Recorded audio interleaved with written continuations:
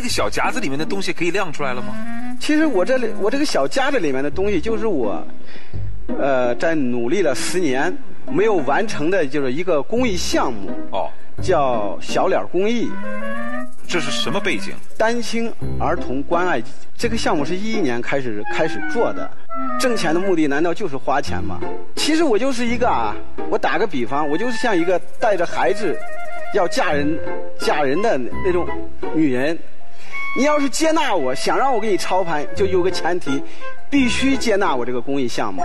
当时我操盘这个糖酒公司的时候啊，我就跟那个老板谈，说如果要让我操盘这个项目。你出五百万，我出二百万，我把这个公益项目想套到这个企业里来做。这两百万是真的投进去了，还是说只是个想法？我这两百万是出了，但是中间有一点问题。他说的话，咱先把企业做起来。他把这两百万挪用了。这两百万是你的自己的积蓄？大部分是积蓄吧。其实我来到这儿也是动了点小心思的啊。其实我想让。涂磊老师能为我的这个小脸公益写上一句话的寄语，在座的企业家有认可这个项目的，也可以为我的这小脸公益暖暖场。我还是要问一下清楚啊，大哥啊，您今天来的目的，嗯，除了找工作，嗯，刚才的这个公益宣传的目的大概百占百分之多少？占百分之三十。其实您想做这件事情，我们很很支持，也很赞赏。你要是自己一个人做，或者是你到台上来号召所有人自愿的加入进来，我也觉得也是没问题的。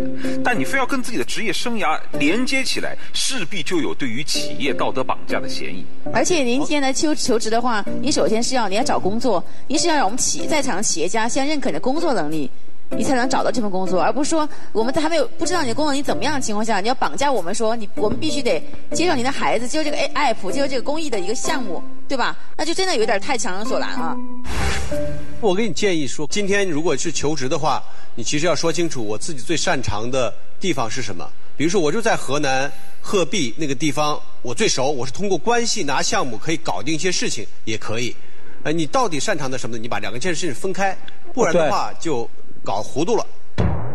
其实到我这个年龄啊，已经磨得没棱没角了，就是不会像有些人去坚持自己的东西。这是我过去的想法，但是我都四十六岁了，我妈七十多岁了。我今天啊，说实话可以调低薪水，所以说我今天来了嘛，就是来应聘，其实是三个原因嘛。小脸公益，这是这是其中的占百分之三十。另外，我也就是想满足我妈的一个心愿。第三点吧，也就是说。想通过啊，就今天哎这个舞台，把自己再突破一下，因为不能一直在那个圈子里混。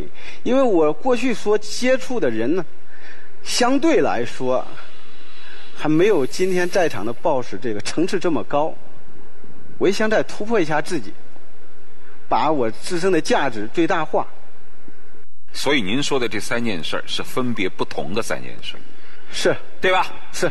九千的底薪，项目顾问或者是项目经理这样的一个职位，大家愿不愿意留灯？第一轮选择去火力。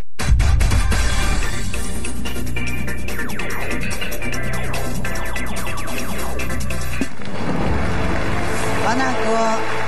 就是在您身上让我看到了爱心公益，但是您自己的日子都没过好的前提下是没有能力帮助别人的，所以我特别想给您一个发自肺腑的真心建议，就是先踏踏实实的做一份好的工作，能够有稳定的收益，能够让您身边的人、您的家人先因为您。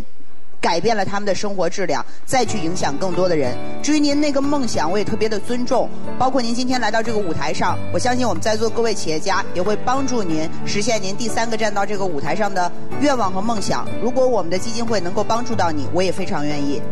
嗯，谢谢。我觉得您刚刚讲一句特别打动我。你说您都四十六岁了，您希望能够在职场上有个新的突破。那既然于于此的话，我觉得其实你在过去的经历当中，每一份工作做总经理都做特别好，而且都是跨行业的。跨行业你还能够管得很好，说明你能力很强。那我觉得其实你可以把这几个行业你能做好的一些经验和方法论提炼出来，帮助你以后强化自己，能够找到更合适的一个位置。线下我还是说，一个是看能不能帮你梳理一下商业模式，这第一个；第二个，其实那个您做您这个事儿不需要两百万，也不需要开发 APP，您现在做个小程序，成本很低的。谢谢。